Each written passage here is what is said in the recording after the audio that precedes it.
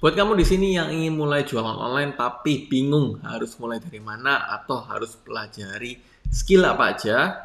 Halo, kembali lagi bersama saya Sean Andreas dari upgrade.id, media belajar digital marketing, digital teknologi, dan digital automation untuk tingkatkan omset bisnismu. Di video kali ini teman-teman kita akan belajar skill apa aja sih yang harus dipelajari sebelum kamu mulai jualan online atau waktu kamu sudah jualan online, kamu juga harus menguasai skill ini. Nah, ngomongin skill teman-teman atau kemampuan itu sebenarnya banyak banget sih. Ya, salah satunya digital marketing. Digital marketing itu kan terbagi menjadi banyak ya. Ada SEO, Search Engine Optimization, ada advertising, ada social media marketing, chatbot, funnel, macam-macam gitu kan ya. Jadi ya begitu banyak skill yang harus kamu pelajari dan mungkin kamu juga bingung kamu harus belajar apa. Tapi di video ini saya singkat teman-teman. Kita singkat menjadi tiga skill yang terutama ya yang harus kamu pelajari. Setidaknya dengan teman-teman mempelajari tiga skill ini minimal lah teman-teman bisa menghasilkan cuan dari internet. Ya, jadi tiga skill itu apa aja? Ini saya singkat ya teman-teman ya. Sebenarnya ada banyak ya yang pertama copywriting. Jadi kalau kamu ngikutin channel eh, video-video di channel ini, tentu kamu tahu bahwa copywriting itu punya peranan yang krusial. Bahkan thumbnail video YouTube ini, terus uh, apa deskripsinya mungkin kalau teman-teman lihat itu juga pakai copywriting ya. Jadi apa sih mas bedanya copywriting sama penulisan biasa ya? Jadi bedanya gini, kalau misal, misalnya teman-teman mungkin pernah dengar ya, yang namanya content writing ya. Ini saya coret-coret langsung aja writing.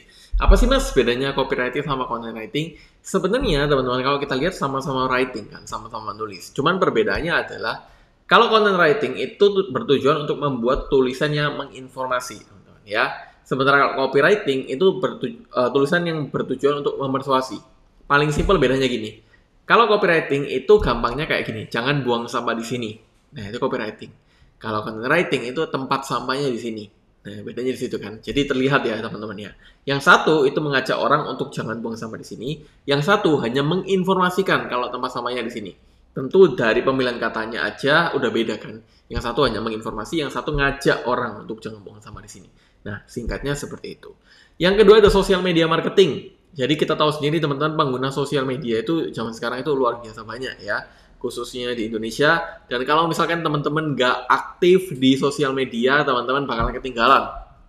Bahkan teman-teman zaman sekarang itu kalau kita kalau zaman dulu ya, kalau misalkan kita jualan produk atau jasa nih, oh iya ya, lihat katalognya mana. Sekarang mana ada katalog teman-teman? Nggak ada. Instagramnya apa? TikToknya apa? Itu udah hal yang paling umum yang harus bilang. Karena kalau misalkan teman-teman jualan online nih, atau teman-teman menawarkan produk atau jasa teman-teman ke orang lain, tapi dia tanya Instagramnya apa? Oh saya nggak punya Instagram. Ya, ya teman-teman tahu sendiri kan jawabannya apa. Ya pasti mereka yang menyempelekan karena punya Instagram atau punya TikTok itu dua hal yang wajib teman-teman khususnya zaman sekarang ya. Yang ketiga advertising. Advertising saya nggak akan jelaskan teknis iklannya, mungkin kita akan jelaskan di video yang lain. Tapi ngomongin tentang iklan itu ada banyak banget ya. Entah itu iklan di Facebook, Instagram, iklan di Google, iklan di TikTok, LinkedIn, YouTube, macam-macam ya. Nah, ini saya uh, akan kupas satu persatu, teman-teman. Paling gampang kalau teman-teman lihat, kenapa sih mas copywriting itu penting? Paling gampang lihat di bagian ini aja, dua kalimat ini aja, dua judul ini ya.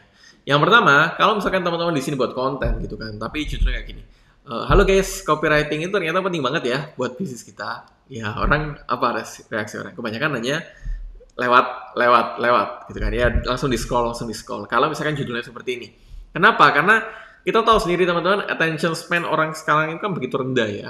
Yang mana kalau misalkan orang itu kalau mendapatkan perhatian orang lain itu susah banget. Karena begitu banyak konten yang ada di media sosial apalagi dengan TikTok gitu kan. Itu kan ya begitu menarik ada suaranya ada visualnya ada teksnya.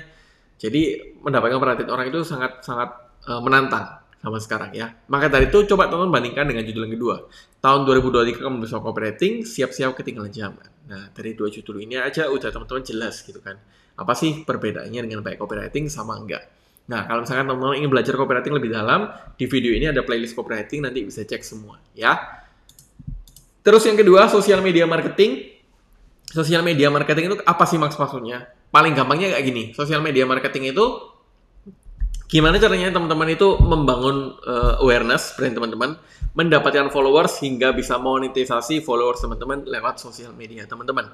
Ya, apalagi kalau menurut data dari data reportal, yang mana kita tahu sendiri pengguna sosial media di Indonesia itu 167 juta teman-teman ya per Januari 2023. Dan mereka rata-rata menggunakan sosial media itu 3 jam 18 menit.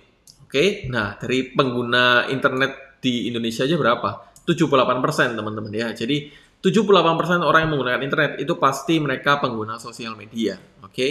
Dan mayoritas tetap cowok ya dibandingkan cewek. Sama total populasi di Indonesia ya itu 60%. Jadi 60% orang Indonesia pakai sosial media, setengahnya ya. Jadi kalau teman-teman di sini belum aktif di sosial media, ya sayang banget. Masalahnya adalah gimana sih mas caranya aktif di sosial media, caranya mendominasi sosial media.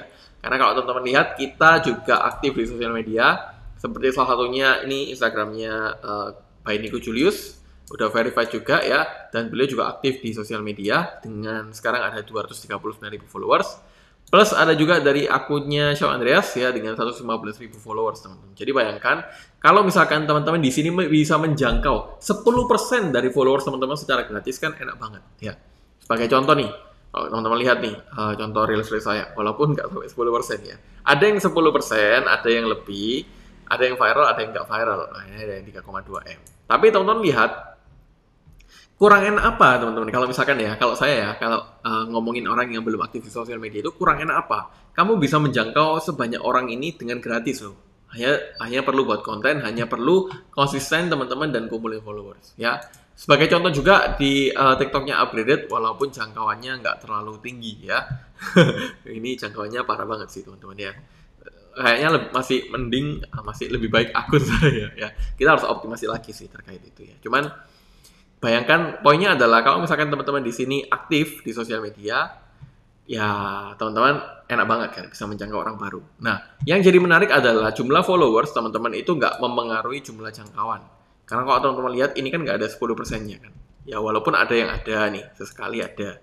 Cuman nggak semua tapi intinya adalah kalau misalkan teman-teman aktif nih, teman-teman ada di Instagram, teman-teman ada di TikTok, teman-teman ada di thread nih yang baru gitu kan. Ya, teman-teman bisa menjangkau orang-orang baru secara gratis dan kamu bisa mendapatkan brand awareness secara gratis. Ya. Dan yang ketiga teman-teman yang paling penting ya satu skill yang paling penting adalah advertising. Ya. Apa itu advertising? Advertising itu beriklan. Jadi iklan itu ada banyak ya. Entah itu kayak di Google, TikTok, uh, Facebook, Instagram, LinkedIn dan YouTube dan lain-lain. Tapi misalkan katakanlah kita iklan di Facebook ya. Ini untuk studi kasus Facebook. Jadi teman-teman lihat kita mengeluarkan budget di iklan 5,8 juta ya, belum termasuk PPN 11%. Oke. Dan 5,8 juta ini teman-teman berhasil menjangkau 134 ribu orang dan iklan teman-teman ditonton sebanyak 304 ribu kali. Oke, impresi itu penayangan, race itu orangnya yang jangkau. Oke, jadi rata-rata satu orang melihat iklan teman-teman dua kali. Ya, dan teman-teman lihat dari iklan segini teman-teman kita bisa mendapatkan uh, apa? Meli mem mendapatkan 9 ribuan klik. Jadi dari 134 ribuan orang yang lihat it, yang kita jangkau ya, itu uh, 9 ribuan klik. Ya, artinya 3%. Oke. Okay?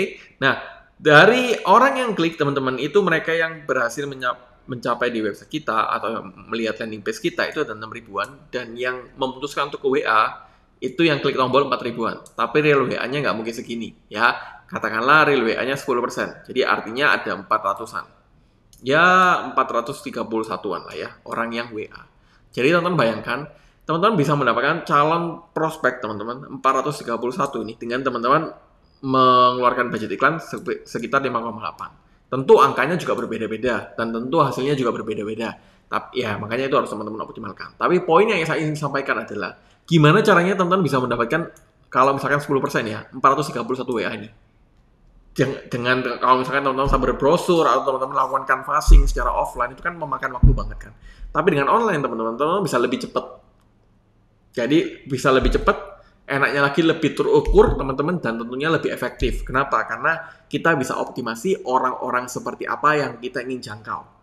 Jadi lebih spesifik iklannya teman-teman dan tentunya lebih relevan buat orang. Dibandingkan kalau misalkan kita hanya sebar brosur ke orang-orang yang belum tentu punya minat dengan produk atau jasa yang kita jual. Jadi itulah beberapa teman-teman tiga skill jualan online yang harus teman-teman setidaknya miliki. harapannya teman-teman dengan belajar tiga skill ini aja teman-teman udah bisa menghasilkan kok dari online. Ya. Dan mungkin teman-teman itu aja di video kali ini. Kalau misalkan kamu ada topik yang kita mau angkat, silahkan tulis di kolom komen. Dan pastikan juga kamu di sini subscribe channel YouTube kita plus aktifkan loncengnya agar kamu selalu dapat informasi terbaru seputar digital marketing, digital teknologi, dan digital automation. Itu aja teman-teman dan saya sampai jumpa di video yang lain.